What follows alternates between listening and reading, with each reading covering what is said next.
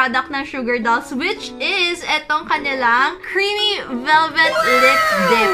So, bali guys, itong bagong dip product nila is actually a new and improved, upgraded version ng kanilang velvet tint. So, parang pinapromise nila na mas velvet yung texture nito, mas matte yung finish, mas lightweight, mas long-lasting, and waterproof daw siya. So, bali, ganito ako ngayon kasi isa-isa natin isa-swatch. Ipapakita ko sa inyo yung mga shades na ilalabas nila. So, guys, they have a total of 8 new shades na ma-enjoy nyo talaga. Kung mahilig kayo mag-experiment at mahilig kayo lumabas na iba-iba yung kulay na labi nyo, feeling ko ma-enjoy nyo yung mga fun and quirky shades na meron sila ngayon. Kung hindi kayo fan ng super-duper matte na tingnan na labi or parang yung feeling na parang nagka-crack cracky lips, I think you will like this one kasi hindi siya, hindi ganun yung feeling niya and parang wala kang nilagay. Actually, I'm wearing one right now. And yung shade na suot ko, it's the Sasha. Parang red yung shade niya na medyo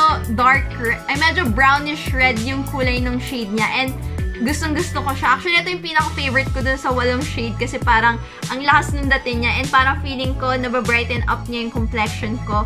Kaya, isa to sa mga favorites ko. Pero may kita niyo iba pang shades kasi super dami ng selection na may kita niyo. As in, makakapili talaga kayo ng perfect shade sa labi niyo. So, hindi ko na patatagalin pa. Let's start with the swatches and abangan niyo yung review sa dulo.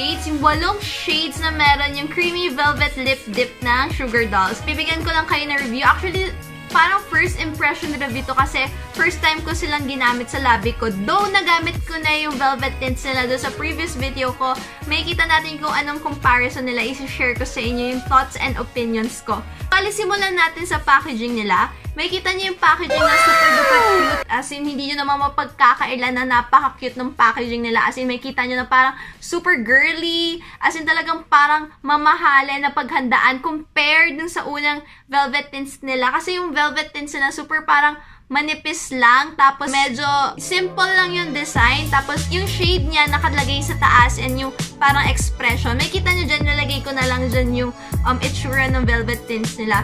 And ito talaga, sobrang improved na ng packaging nila kasi talagang sobrang ganda. As in, parang, alam mo yun, parang mamahalin tingnan, parang nabili sa mall. And ang ganda ng color selection niya kasi parang unicorn color, mga pastel color, parang ganyan. Parang it reminds me of cotton candy. Parang ganon. Ang maganda rin kasi dito sa simple lang yung simple lang yung design niya, yet mapapatingin ka. Tapos nasa unahan kasi yung kanyang product name nandiyan dyan. Andyan din yung shade which is ito yung Barbie. Tapos sa likod, andyan yung mga ingredients. So, may kita nyo kung anong pinaglalagay nyo sa labi nyo.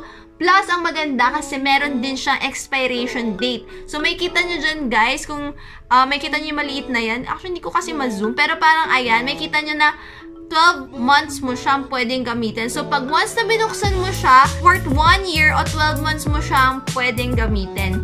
And yung isa, itong ganito kalaking product na to, meron siyang 5 ml worth of lip products na matagal nyo magagamit kasi sinasabi ko, Beshi Wapsi, a little goes a long way. And napakatipid kasi kahit isang swipe lang, may kita mo na yung color payoff. Puntahan natin mismo yung product itself.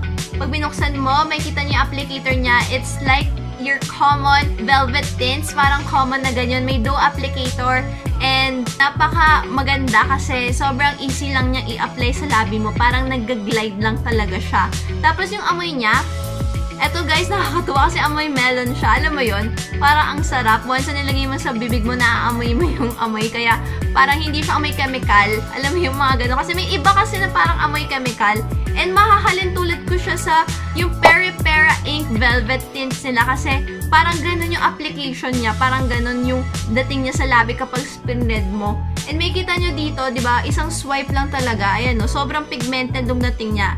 Actually, itong kulay na to, parang may lip may lips but better and ayun, may kita nyo talaga na sobrang lakas ng dating niya. As in talagang one swipe is all you need para makita nyo yung color payoff niya. Kasi iba kailangan mong ganunin. Kung gusto mo super intense ng color, isa-swipe mo talaga siya mabuti. Pero kung ayaw nyo na super duper intense at sakto na sa inyo yung kulay, is kahit isang swipe lang, sobrang lumalabas na yung kulay. ang maganda kasi sa kanya, hindi siya namumuo. Alam niyo, may iba kasi na matte na tints or matte na lipsticks na parang namumuo. Tapos nagmumukhang parang ang hirap suotin, tapos ang bigat sa labi. Pero eto, sobrang totoo talaga. Lightweight talaga yung feel niya. As in, parang wala kang mafe-feel na nilagay mo sa labi mo once na nag-set siya.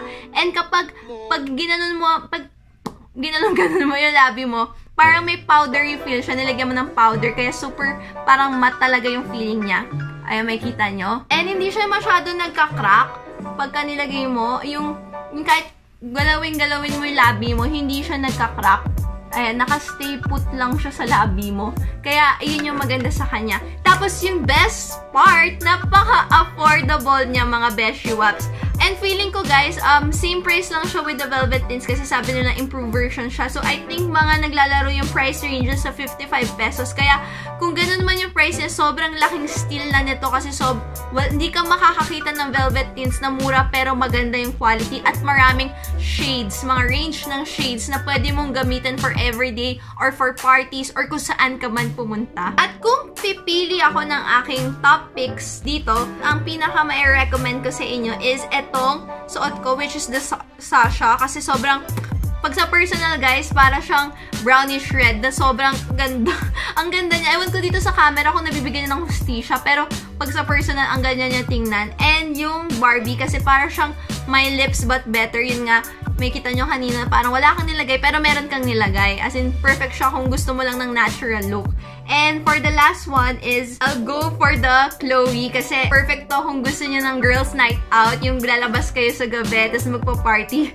Talagang sobrang bongga nung dating niya. Pero for everyday, I think hindi, hindi siya suitable for everyday kasi dark siya tingnan. Pero kung lalabas ka at magpa-party ka, best siya to. Sobrang pack na pack talaga. As in, ikaw talaga magiging star of the night neto. So, ayun na guys, nakita nyo na yung review ko with the newest product na ilalabas ng Sugar Dolls. And ano yung pinaka-favorite shade nyo? Comment down below para malaman ko kung ano yung napupusuan ninyo. Kaya, ayun, comment nyo na besh ano mang favorite nyo dyan. So, kung gusto nyo pang tingnan, i-check out yung mga products na available sa Sugar Dolls. Iiwan ko yung link or you can visit their page, a Facebook page, which is the Sugar Dolls PH at doon makakakita pa kayo ng iba't ibang affordable products na meron sila na talagang student-friendly and hindi bubutasin yung bulsa nyo. If you like this video, guys, please don't forget to give it a thumbs up. And if you haven't subscribed to my channel, mag-subscribe ka na at i-hit mo na yung notification bell para updated kayo every time I post a new video.